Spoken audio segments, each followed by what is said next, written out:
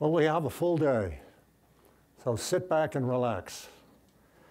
Before we get going, uh, I'd like to recognize a visitor in the back row that not long ago would have been standing up here uh, leading the way, and that's Lee Chesneau. Um,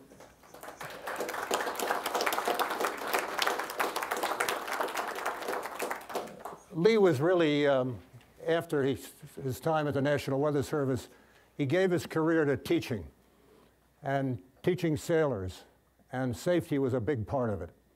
And there were lots of days when you'd hear about GRIB files and what they were and what they weren't from him, and the importance of the 500 millibar, and you're going to hear more of both subjects today. But Lee is really the progenitor of the whole thing, and we owe him a lot. Our community owes him a lot. There's a certain fascination to the weather, wonder to the weather. It um, is probably the most common conversation most of us have. Nice day today, eh? Look out there. You know right where you are. It's raining this afternoon. We're in Seattle, right? Um, and uh, has been for thousands of years, millennial. It affects our life in multiple ways our work to greater or lesser extent. Uh, even the guys on Wall Street worry about the characteristics of weather. Um, 300 years before Christ, Aristotle wrote a treatise on meteorology and sort of set the stage for a lot of the work we're doing today, believe it or not. It's that old, been around. Um, it's been the subject of arts and artists. I see right away the conflict between the uh, the MAC and the, uh, and the, it says analysis and forecasting, state of the art. Make no mistake, as I said last time, there remains a fair amount of art in this. And the importance of that is that you are an artist, whether you know it or not. You look out the door, you feel kind of sweaty, and you say, something's not quite right. The clammy air, this one, that one. That's part of the art of forecasting. And that art is hard to transmit, translate into digital format. The human element is still a very important part of weather forecasting. Keep that in mind as you go along and you look at product. There's a number of products we all pick up our phones and get our PredictWind or one thing or another, and it's got to be right because it's in color. Looks lovely, right? And you realize, wait a minute, it's just a computer output, no human intervention, Remember what he said? It's got a, still a fair amount of art involved in the whole thing. Um, myth and mythology for hundreds of years. North wind doth blow, we shall have snow. Right? Red sky in the morning, on we go. On and on. Right? Um, myth and mythology uh, really was central to the whole of the effort through pretty much the 1500s. The scientific method was just coming along. Systematic acquisition, systematic acquisition of information. And the quantitative framework, the calculus and the rest, Leibniz and Newton, to be able to solve the equations that govern. But that didn't stop artists from playing in the 1800s. Of course, we have our friend Mr. Whitman and uh, Leaves of Grass fame, but he went out one day and wrote up this little poem. It's quite long. I just took a couple of snippets out of it. And he went, I ascended the towering rocks along the Pacific. I guess that's why I picked it, because I'm an East Coast guy and I'm in the Pacific now. I sailed out to sea through the storm. It, I was refreshed by the storm, and so forth.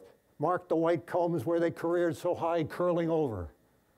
And he goes on, noted the slender and jagged threads of lightning, air, sea um, as the scientist reads it, right? Uh, as sudden and fast amid the din, they chased each other across the sky. These and such as these I elate, saw, saw with wonder. There it is. Yet pensive and masterful, all the menacing might of the globe arisen around me. You know, you can just sort of, particularly those of you that have been offshore a little bit, you can just sort of get the sense of it all. Fair number of poets, uh, mid 1800s, Whitman, an interesting poet laureate of the U.S. Um, sorry, John Constable, uh, famous for his paintings of clouds. He really brought clouds along in the times mid 1800s. And he saw the clouds uh, as landscapes.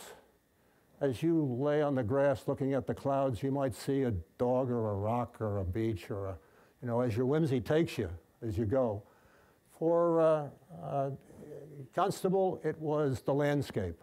And he brought them into landscape uh, paintings and drawings. Um, it was his effort, his artistic effort, was more or less consistent, coincident with the development of the scientific methods. The 1800s really saw an increase in our understanding of meteorology, the factors that govern atmospheric circulation. And that's got some hiding on the other side. Um, we had ourselves some cloud classifications for the first time high, middle level, and upper level clouds and cloud cover. So you began to take, in your diaries, you began to make reasonably uh, repeatable quantitative, qualitative uh, uh, loggings of conditions. Um, this was all, this is early 1800s. And through the 1800s, that led to the development of diaries, sailing directions, you know, Matthew Fontaine Maury in this country, um, and ultimately to one of my heroes. Everybody knows Fitzroy, of course, in the room. Uh, he was, he sailed with that fellow Darwin. Some people call him Darwin's captain, but it was really, uh, Darwin was the cabin boy for the captain here. Uh, Fitzroy, very interesting fellow, and take a read. As it says here, 1854, he's appointed meteorological status to the British board, okay? So he was doing in England very much the same work that Maury was doing over here. And from it, and a few incidents, ships lost and the like, um, he began, of course, mind you now, experienced offshore navigator, responsible for the most part for all the mappings of the Patagonia region in uh, some very, very difficult conditions, what Beagle did down there. Fitzroy, in fact, took command after the previous captain had committed suicide for the conditions down there. Um, and um, he believed in the value of the barometer. Fitzroy, there is a Fitzroy barometer right now. You can still get them in some of the antique shops. I'm sure David could probably put you a line on that. But he believed that if you took a look at the barometer, the way it was behaving, you could anticipate weather change. Now you put those observations together with the increase in communications, and he began to believe in the value of gathering together a number of station observations and using it to develop some estimates of what's going to be going on tomorrow, knee the weather forecast. He's credited with the term, Fitzroy. And the first weather forecast came out in 1861. And here you see a series of stations okay, that he's getting information from. And then down here, general weather probable during the next two days. In the north, moderate westerly winds, fine and so forth. He reads on down. To the south, fresh westerly, still fine. And he initiated a series of storm warnings, the flags that we used to, we grew up with, right? Um, all came from around this time. But for the most part, still observational and a lot of qualitative. When we moved to 1900, things really started to change. The Norwegian school uh, are prominent in oceanography and prominent equally in meteorology. And Bjerknes and his son really initiated the quantitative method that's used to this day, for the most part, to describe atmospheric circulation. They solved a very simple series of equations, and I'm sure you all remember conservation equations, and the conservation of mass, conservation of momentum, You'll see when we get into discussions of things like Coriolis, the fact that we're moving over the surface of a rotating Earth, conservation of angular momentum. The conservation equations were key to the solution, along with thermal energy and continuity. You got a mass of water, you got to squeeze it through a hole. Conserve mass, sort of a thing. very simple concepts. Now, 1900 didn't have the computers, didn't really start seeing analytical solutions to the equations till about 1926. Richardson initiated that. And it took him by hand about three or four days to a week to solve a 24-hour equation. So you figure the time scales on it. Of course, the first time we ran a, um, a solution on the computer, ENIAC in uh, uh, early 1950s, I guess, or so, uh, it took a day for a 24-hour forecast on the computer. So think, think we, where we've come along. Now, the point of all this babble as we go along through this is time scale. We have so many things, like uh, we've always had an iPhone. That's my grandson's view, right? They've always had an iPhone. Actually, it's, it's only a little over 10 years or so that you've had an iPhone. And you say, uh, the same thing goes when you take a look at weather forecasts, why don't they do better, better, better, better? In, in fact, an awful lot of what you're looking at is fairly young. And we're still very much in the development stage. And there's improvements. We were talking around dinner table last night about improvements that are going on all the time. So keep in mind the time scales. Okay? Bjerknes sought to predict the dynamical and physical condition of the atmosphere at a later time if at an earlier time this condition is well known. Initial conditions, key. How we start the game off. Definition of initial conditions. In 1962, Joanne Starr Malkus, now working with the early days of the computers and the rest of it, staring at meteorological questions, she's a well-known meteorologist, says Except for man himself, the weather is probably the most variable, unreliable, fluctuatory phenomenon known to man. You know, that he's tried to stop. See, that sounds very optimistic, wouldn't you say, as you come as you come at it? Should you be surprised that you sometimes have difficulty? Why? Important. This will be on the quiz. Why? The challenges that the flows we're dealing with are fundamentally turbulent, to some extent chaotic, but they're turbulent. Okay? Now you want to you put that in your head and you can go back out and you can Google up turbulent and see what the meaning is and the full meaning of the word. But fundamentally turbulent. And all we have to do is look around us. You walk by a creek, you see the flows past the rock, beautiful wake in the, in the tail of the rock, lots of interactive flow going on. You look at the cloud cover, lay in the bed yesterday morning, the day before, it was blowing about 40 as the front went past us in, uh, in Mystic, and the clouds were just spectacular going by. This is the blue marble you're going to see again and again. You take a look at this guy. if you took a look at that running as a loop, you could convince yourself you're looking at a moderately turbulent regime going through it. And you're all moderately familiar with, sorry, with this guy. Um, if we had a cigar, the old days, we could stand here and demonstrate it to you. But this is now a jet coming out of a nozzle, and the flow along the left hand there is pretty much straight and parallel. The streamlines are parallel to each other. There isn't much crossing of the streamlines, but thus the flow region is called laminar. The flow proceeds in a series of layers.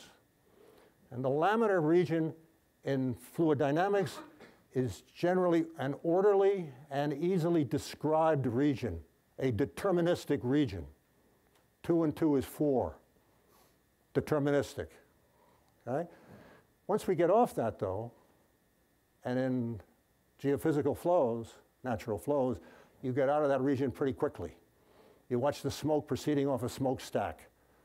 A lot of buoyancy right next to the stack, and then as it starts to drift off downwind, it gets progressively more turbulent more erratic and irregular. Okay? Down in here is the challenge, and that's generally the region we work in, you play in, and you work in. The flow is turbulent. And it's a system that proceeds over the vertical a fair way. This is an important slide to keep in your head as you go from the surface, surface pressure, mean pressure, something like 10, 13 millibars, and as you're proceeding up, Okay, you get up to around, this is eight, 500 millibars, about 18,000 18, feet, and then 250 millibars, somewhere around 30, 35,000 feet or so. The temperature on the average decreases. But we've got, this is our weather down in here. Okay, proceeds over the vertical and the horizontal. Uh, important to remember, the game we're playing with, the weather, is a result of this fundamental. There is, this is incoming solar radiation, which is our primary source of heat, surface of the Earth. There's some slight amount from the interior, but it's negligible generally. And we have an excess of incoming solar radiation in the equatorial regions. So you're warming up your aquarium down at the equator. And that warming uh, begins to develop a circulation, good thing, because there's a deficit at the pole. Okay? More heat is going out at the pole than coming in. More heat coming in at the equator, more heat going out at the pole. That's a good thing that we have this overturning from the equator to the pole. Otherwise, the equator would be getting hotter and hotter, and the poles would be getting colder and colder.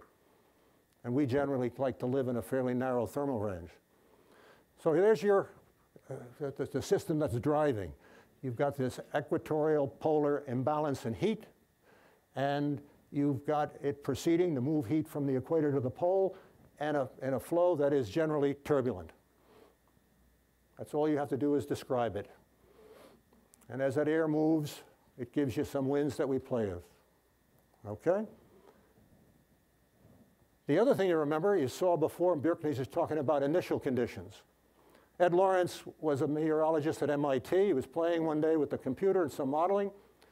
Um, and to make the long story short, in the course of the work over the day, what he found is that a very small difference in the initial condition will make a very large difference in the result of the model run. It was an, it was an accident. He went out to get a cup of coffee. Okay, honest to God. It's like so many discoveries, it was an accident. But he discovered the importance of the initial conditions. And from it, you may have heard the term the butterfly effect. Uh, the eddy from the butterfly's wings as he's making his way from Mexico to, uh, to Mystic, Connecticut, okay? That slight eddy, eddying, may induce a flow that ends up being major weather event, okay?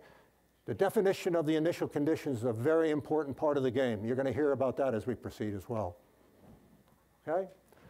The combination of all of this, we're dealing with turbulent flow, is that in general, the weather forecast that we're playing with, although they say it might rain at 2 o'clock this afternoon, and you take it that way, they really are saying it may rain this afternoon at 2 o'clock. And there's a more or less probability of it. And in some cases, if it's 2 o'clock this afternoon, we'd like to believe it's 100%. That's honest to God, going to get it rain. But if you get out to 15, 16 days, as you do in some of these guys, uh, the probabilities uh, get a little bit fuzzier as we go.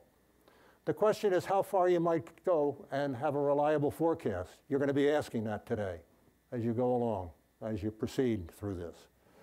Um, the uh, National Weather Service, for this and now their GFS model, uh, provides some estimates of probability. You probably never even looked at it, but it's under model guidance in the, uh, in the OPC output. And you can get an idea for 20 knot winds. This is for 20 knot winds. The zero hour probability of, at 10 meters, you're going to get 20 knot winds. That's in the red zones, okay? And we can carry that out to 16 days, if you believe it remembering what he said about the probability it gets, gets less and less as you go further and further out. And if you don't believe that, um, Joe Sienkiewicz might talk to you about, this is an old slide showing you that if we take a look at the European center model, this is the European model you've heard about before, and um, the, the, the probability that they're going to be getting something like 60% agreement, which of course I call 50-50, but that's another story. Um, it runs, it, has been going out, this one to 2013. They believe they can get out to something like eight, um, eight and a half days or so in fairly reliable modeling. Um, you might care to question that. Okay? You might get the idea that what we're doing here is really not providing you with any answers, but providing you with lots of questions. And that's what I hope you'll come with today. You look at some of this, say, okay, because all of this started uh, for us in 2016, at the start of the Bermuda race, there was a forecast for uh, Alan Gamora. It was a, a fa fa fairly serious condition, and a fair number of boats dropped out. And after it, a fair number of people started asking why the difference, why the conditions were not that bad. In fact, I had to tell our crew when we were going through the Gulf Stream. Uh, it's a nice afternoon sail. We're going down through the Gulf Stream. Was supposed to be about 30 knots wind against the stream. Um, say, why the forecast error? Well, what is the forecast? What's the nature of the forecast? Uh, how much confidence should we put in a forecast for how long? On that page that you had for the program, this is the nature of the problem. The character of your dance partner, what you're looking at today. Okay, what is weather? Current state of the atmosphere. Weather is fundamentally the result of collisions of air masses in that circulatory system equator to the pole. Okay? It's dynamic, displays significant spatial and temporal variability. And you guys live it here. Pacific Northwest is the poster child for some of that. Okay? You're downwind from some relatively unadulterated, interesting situations. Okay? Okay. okay. Write that down, right? Write that down. Um, it, uh, it says it's it, due to variations in latitude, surface character and roughness, atmospheric water content, incoming solar radiation, and the resulting flows are turbulent, meaning that they are to some extent chaotic and best described by statistical methods. Uh, yet most of us take these to be deterministic. So what you ought to be looking at today when the, when the pros get up and you, know, you can question it is the forecast of future weather depend on an understanding of atmospheric physics, a combination of observational data, very often at sea. Those data are nowhere near as dense as they are over land. So it should come as no surprise that sometimes the marine forecasts are not as good as the terrestrial ones as we go through this. Um, analyst interpretations, I said that at the outset, how important the analyst is. When you look at an Ocean Prediction Center forecast, it generally has a name on it. So you can go to Sienkiewicz, pick up the phone and call him up and ask him what he was thinking about when he put this thing out. There really is a face to the forecast down there. But a lot of forecasts we get, that isn't true okay? And the, the accuracy, accuracy is depending on adequacy of all of these components, not just one. Okay, with that, we're going to go over now. Uh, Ken McKinley is going to get us into, um, what do we want to call it? Meteorology 101, I said last time, or one, the beginning. I hope you had a chance to look. I understand that the audio has gone a little bit bad on that, uh, that loop, but I hope you had a chance to look at some of Ken's stuff before. So we're going to uh, go through 101. Then I'm going to get into some of the oceanographic components. Um, Joe Sienkiewicz is going to do some marine forecasting here. Uh, we'll take a break for lunch. Then uh, Kirby Cook is going to be talking to us about coastal weather. Um, Dave Birch, evaluations of the marine forecast. Uh, Jeff Tomasin is going to be here from Oceans this afternoon. And uh, finish out with a wrap from Ken. Mr. Honey. Um, there'll be no breaks this morning. Uh, there is coffee in the back. There'll be a break this evening, this afternoon. Um, there are you'll there are heads one floor down and one floor up. They are? Yes. Okay, thank you. We were told it was up. So much for that information. they, they may be up. They may be up too. Oh, gotcha. Up is okay. This floor is an added. Thank you. Ken? Okay, thank you. Thank you.